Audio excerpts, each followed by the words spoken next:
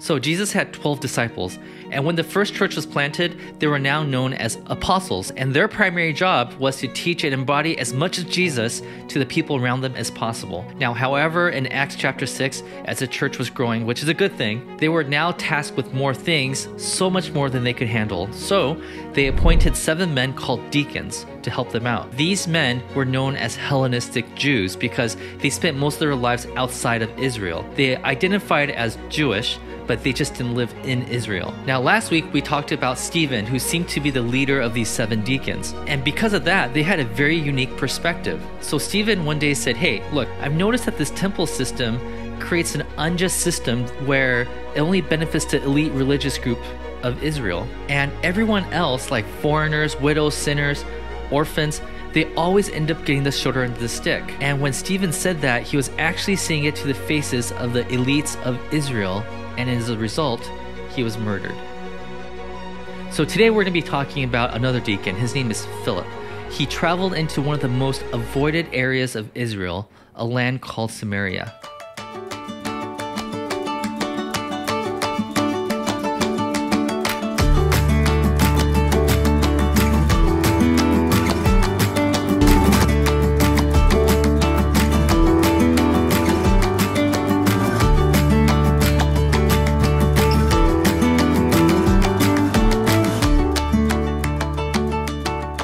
That day, persecution broke out against the church in Jerusalem, and all except the apostles were scattered throughout Judea and Samaria. Those who had been scattered preached the word wherever they went. Philip went down to a city in Samaria and proclaimed the Messiah there. So when Stephen was killed for his attempt at bringing heaven on earth, the church dispersed into the surrounding areas, and here we meet our friend Philip. It's recorded for us that Philip went to a place called Samaria, and Samaria was one of the most taboo locations for the Jews. So, why is that? What is the big deal with Samaria? If you were to split Israel into general territories, there was the region of Galilee to the north. This was the place where a lot of business was conducted because a lot of food like fish was obtained there. There's Judea to the south. This is where the religious epicenter of Israel was. As you can see, Jerusalem is located in that region. And in the middle is a small plot of land called Samaria. I mean, I'm pretty sure they would rather be where the food is plentiful, like in Galilee, or close to God's temple in the south in Judea.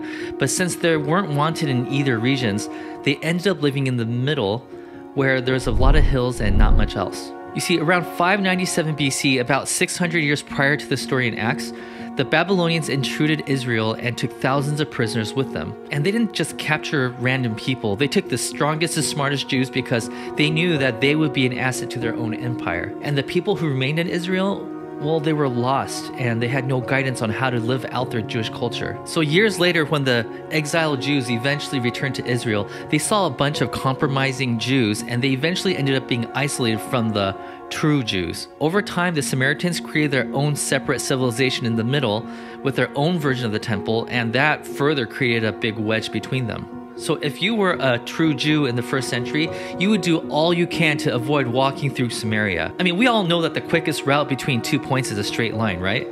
Well, the Jewish community walked around Samaria to get from Galilee to Judea, and yes, this added extra days to their trips and became quite expensive, but to them, it was worth it. It was better than walking through Samaria. Now, what I just described to you is an overgeneralization of the history of Samaria, but I'm just trying to illustrate this one simple yet disturbing point, which is that Samaria was avoided by the Jews at all costs.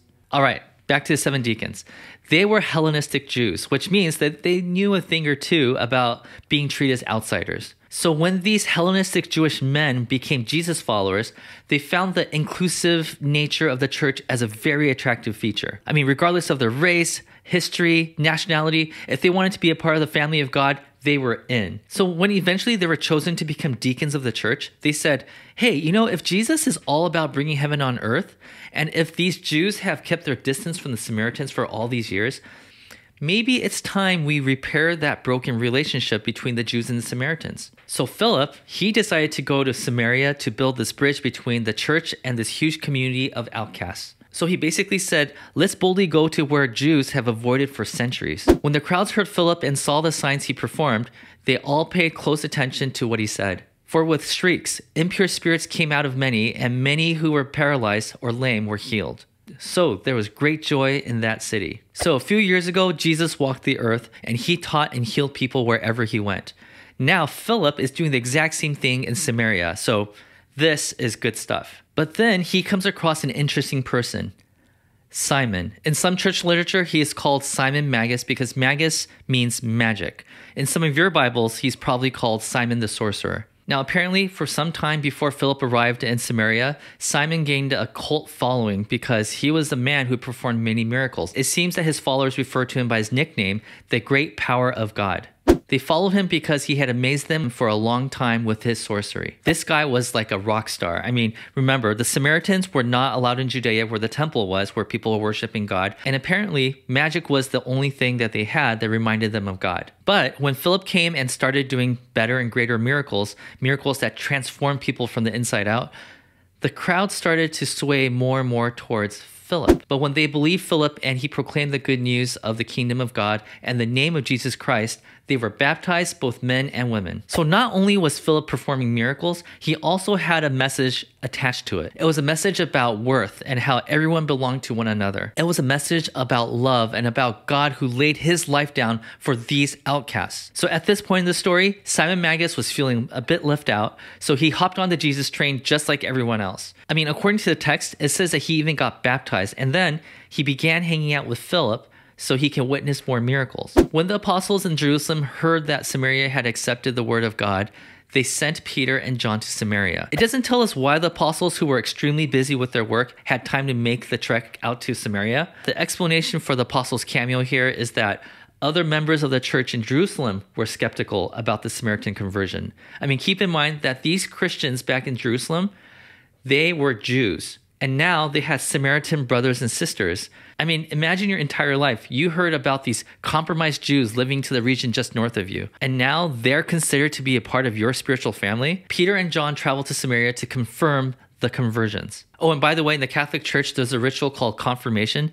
This verse is where that practice came from. So when they arrived, they prayed for the new believers that they might receive the Holy Spirit because the Holy Spirit had not yet come on any of them. They had simply been baptized in the name of the Lord Jesus. Then Peter and John placed their hands on them and they received the Holy Spirit. All right, get this. Peter, a Hebraic Jew who became a Jesus follower, is now placing his hands on top of a Samaritan who is now a Jesus follower. What he's doing in essence is welcoming them into the family of God. He is breaking down barriers. What was once separated is now coming together. Now, while this isn't mentioned in this part of the text, it's implied that as soon as the apostles prayed over the Samaritan Jesus followers, something happened outwardly and it caught the attention of Simon Magus. Apparently, the people they prayed over began to perform miracles. Okay, so now Peter and John have finished their duty. Now they're ready to go home. But right at that moment, Peter gets pulled aside by a newly baptized Simon Magus. Now, before we read on and find out what Simon said to Peter, let's put it into context what's happened so far. Simon was a magician, he was a sorcerer.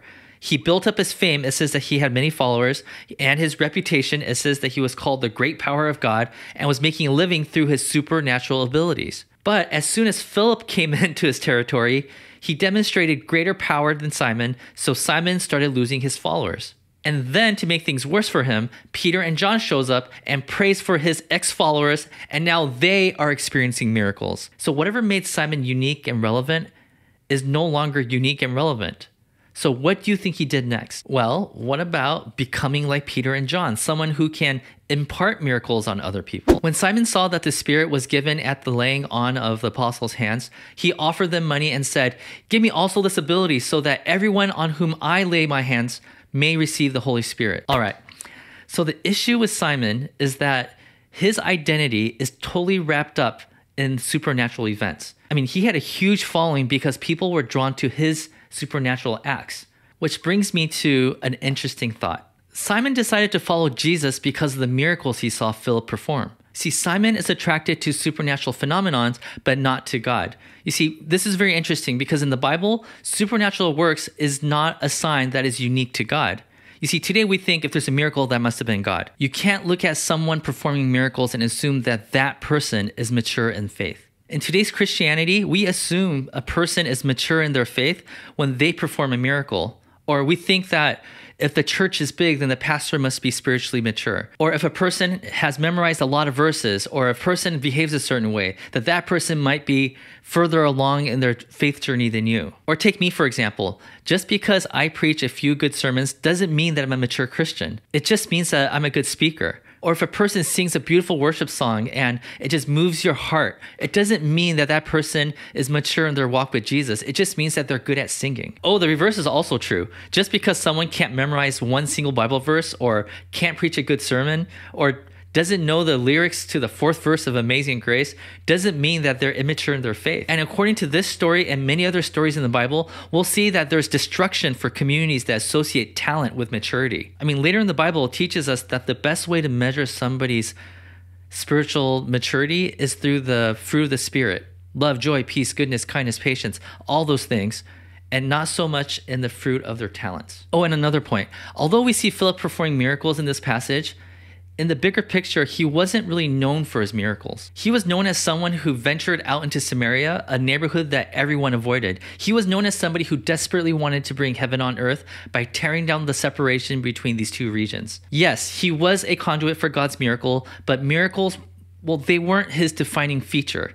He wasn't yearning for miracles. He desired restoration, and as a result, God decided to heal people through him. And Simon Magus, he was the exact opposite of Philip. He was attracted to miracles, and some were fooled into following him because they were blown away by his spiritual acts. I mean, if you compare him to the apostles, they were attracted to God's works and restoration, heaven on earth, which included occasional miracles. Philip, he wanted restoration. Philip trekked into the unknown lands, risking his own life, just like Stephen did to share the love of God to the people that have not known that love. Simon was only thinking of his own gain, his following, and his reputation. New Testament scholar Willie J. Jennings states this There are people the world over who live and breathe and envision Christian faith only in its utility and only through exchange. Though they stand near as intimate space, they are not in it. In other words, Simon saw God as a commodity to be purchased and traded, a mere tool wielded by the hands of those skilled in, in spiritual practices. He wanted power, but not God. And as you may have expected, his attempt to buy God's Spirit was met with a firm rebuke by Peter.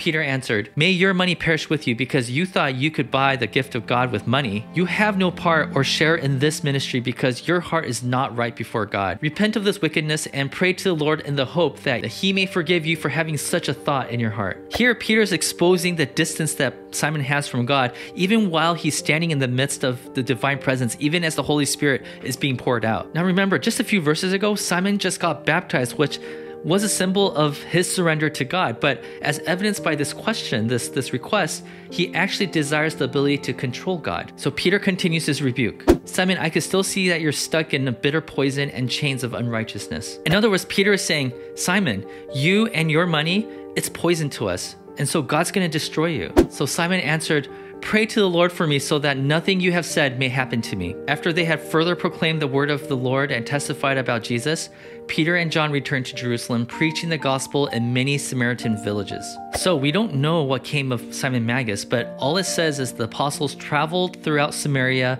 building more bridges with them. So, what is the takeaway from this account?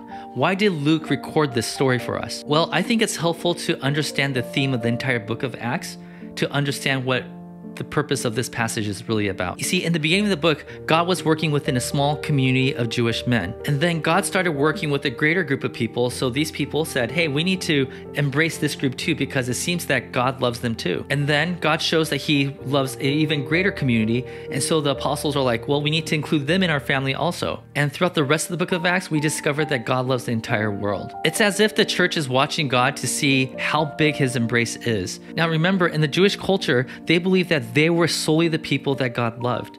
And now, in the book of Acts, they're discovering, oh, God loves them too. God loves these people also. Those outcasts God loves. Philip goes to an off limits community, and God begins to show that he loves the Samaritans too. So the apostles join in. God is a free spirit. He goes wherever he wants, and the church's role is to join in on what God is doing wherever he is. But then they encounter Simon Magus, who thinks that he can control God. When the church's mission is to let God do whatever he wants and we will join in on what you're doing, and they come across somebody who says, I want to be able to control God's power, of course that person is going to be labeled as venomous. This point is best summarized by New Testament scholar N.T. Wright. Any attempt to bring the Spirit under human control is a nonsense and to be rejected outright. The Spirit is the Spirit of the sovereign God who blows where he wants and how he wants. Neither Peter, nor John, nor Philip, nor any human being then, since or now, can do other than be open to what the Spirit wants, ready to be blown along by the rushing mighty wind. So, church, may we become active participants of God's great work of building bridges with one another. And may we not blindly chase after miracles, but fervently chase after God and His kingdom. And may we experience heaven together. God bless.